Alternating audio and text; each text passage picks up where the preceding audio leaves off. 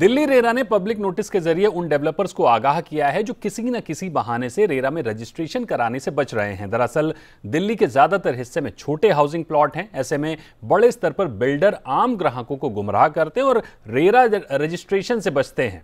दिल्ली में रेरा को नजरअंदाज करने वाले बिल्डरों के खिलाफ शिकायतों का अंबार है। ऐसे में दिल्ली रेरा ने स्पष्ट किया है कि यदि प्लॉट 500 वर्ग मीटर से ज़्यादा है या एक प्रोजेक्ट में 8 यूनिट से अधिक का निर्माण हो रहा है तो रेरा लागू होगा, जो कि ये नियम पहले से है। और क्या कुछ स्पष्टता दी गई है? दिल्ली रेरा ने इसे इसे समझने की कोशिश करेंगे, लीगल एक्सपर्ट और यूपी रेरा के लीगल एडवाइजर वेंकट राव साहब से। राव साहब बहुत बहुत स्वागत है आपका जी बिज़नेस पर। सबसे पहले तो ये बताइए कि रेरा का सेक्शन 33 क्या स्पष्टता देता है और पब्लिक नोटिस के ज़रिए दिल्ली रेरा ने क्या संदेश देने की कोशिश की है, किन पॉइंट्स को स्पष्ट किया है? देखिए बेसिकली जो ये पब्लिक नोटिस है, ये एक, मैं कहूँ एक स्टेक होल्डर्स यानी कि रियल एस्टेट में जितने भी बायर्स हैं, जितने भी ग्राहक हैं, उनको एक अवेयरनेस रहे कि जो प्रोजेक्ट रजिस्ट्रेशन की ज़रूरत है, उन प्रोजेक्टों के रजिस्टर्ड प्रोजेक्ट्स में ही पब्लिक इन्वेस्ट करें।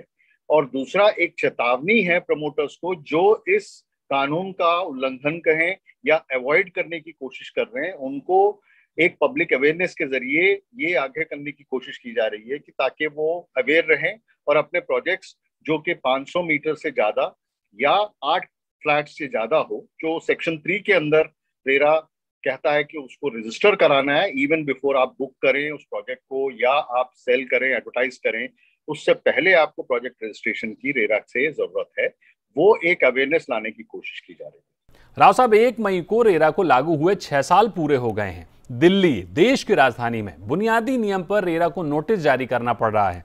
इसे रेरा की सतर्कता कहें या फिर फेलियर आखिर क्यों इस नोटिस की ज़रूरत पड़ी? दिक्कत कहाँ आ रही है? एक तरीके से मैं कहूँ ये फैक्टर रहा है कि सोसाइटीज का प्राइवेट सोसाइटीज का चलन रहा है। और दिल्ली डेवलपमेंट अथॉरिटी का मेजर डेवलपमेंट रहा है तो एक गैप रहा है, रेरा रजिस्ट्रेशन एप्लीकेबल है नहीं है। मेरे ख्याल से एक बहुत इम्पोर्टेंट और सराहनीय कदम है कि एटलीस्ट ये अवेयरनेस अब दिल्ली कई तरीके से करता रहा है। शोकॉज नोटिस कई इशू हैं और उन पर एक्शन भी लिया जा रहा है। ये एक फर्दर एक पॉजिटिव साइन की तरह लीजिए rather than inactivity for last few years ना लें। ये कंसिस्टेंट प्रोसेस है प्रेरा के लिए। ये अक्सर इस तरीके से नोटिस निकालने की ज़रूरत है ताकि अवेयरनेस बढ़े। राव साहब जो होम बायर्स इस तरह के प्रोजेक्ट में डील कर चुके हैं जो रेरा के अंतर्गत आते तो हैं लेकिन उन्हें रेरा में रजिस्टर्ड नहीं कराया गया है तो ऐसे होम बायर्स को क्या कुछ करना चाहिए? उस नोटिस में ही एक मेल आईडी दी गई है। ये कहा गया है कि जिस किसी को भी इस तरीके के प्रोजेक्ट्स पता चलते हैं या उसमें इन्वेस्ट कर चुका है तो वो ज़रूर हमें इंटीमेट करिए। आपको एक इंटरेस्टिंग बात बताऊँ, एक लैंड पूलिंग पॉलिसी पिछले कई सालों से चल रही है, जो Delhi RERA I mean Delhi में बात बनती रही है। काफ़ी लोगों ने इसका एक फ़ायदा उठाने की कोशिश की है, जबकि वो पॉलिसी स्ट्रीमलाइन ही नहीं हुई है नोटिफाई नहीं हुई इस तरीके से कि जिस तरीके से इम्प्लीमेंट की जाए। लेकिन लोगों ने प्राइवेट लोगों ने भी प्राइवेट सोसाइटीज के नाम पे भी कुछ कुछ जमीनें इकट्ठी की गई हैं और उनको, लोगों को बेचा भी गया है। तो एक कोशिश है कि उन सबको ये भी एक आ, मैं कहूँ कि एक एफर्ट है ये जिस तरीके से वो इंफॉर्मेशन गैदर करना चाहता है ताकि उस पर एक अंकुश लाया जाए और एक तरीके से अपना रेगुलेशन इंप्लीमेंट किया जाए। राव साहब अगर अब भी डेवलपर्स या फिर सोसाइटीज ने रेरा को नजरअंदाज किया तो उन पर क्या कार्रवाई बनती है? तो जी इसमें दो तरीके की चीज़ें हैं। देखिए एक तो कुछ सोसाइटीज हैं कुछ है जो पर्पस उनका ये होता है कि उनके अपने वेलफेयर ऑफ़ द एम्प्लॉयज़ यानी कि चाहे आर्मी वेलफेयर की वजह से स्टाफ के लिए उन्होंने प्रमोट करके कुछ सेगमेंट बना के बनाना चाहते हैं।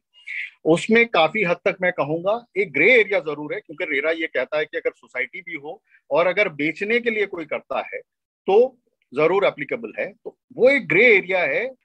उन पे ज़रूर मेरे ख्याल से इस तरीके का अंकुश की ज़रूरत है, क्योंकि इवेंचुअली ये ग्रुप ऑफ़ पीपल जो होते हैं, जो सोसाइटी में पाँच सात लोग, जो मेंबर बन के इनको कंट्रोल करते हैं, वो एक्चुअली एक डेवलपर ही है प्रमोटर ही है, उन्होंने एक in the garb of this thing they have done it so therefore उस जगह पे मेरा मानना है कि अंकुश की ज़रूरत है and that is what RERA is trying बिल्कुल, यानी गौर करने वाली बात यह है कि दिल्ली रेरा ने इस नोटिस के ज़रिए होम बायर्स को आगाह किया है तो वहीं रेरा की अनदेखी करने वाले बिल्डरों को चेतावनी दी है। लेकिन बड़ा सवाल अब भी बना हुआ है कि रेरा लागू होने के छह साल बाद भी अगर बिल्डर रेरा की अनदेखी कर रहे हैं तो कमी कहाँ रह गई है? ये भी बड़ा सवाल है उसको भी समझने की ज़रूरत है। तो शुक्रिया करेंगे वेंकट राव साहब हमारे साथ जुड़ने के लिए आपका।